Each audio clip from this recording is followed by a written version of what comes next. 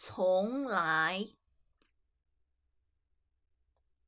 从来，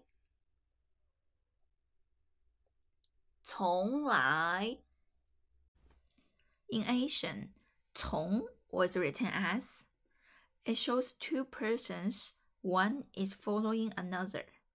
So the original meaning of 从 is obey, 服从.